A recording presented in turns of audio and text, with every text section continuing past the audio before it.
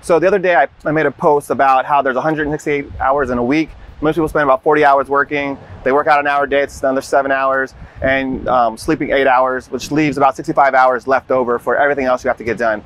Well, I got a lot of comments, some good, some bad. You know, some people saying they're like a single mom, work three jobs, and once they drop their kids off and clean and do all the housework, they're in the negative already. So I just wanted to have a follow-up post for that, um, you know, for the, for that quote that I put on there. And really, what it comes down to is priorities. You know, you have to prioritize. You know what you know has to get done. What you know what has to get done today. What has to get done you know this week, or what you can put off and you know and do it a later you know at a later time.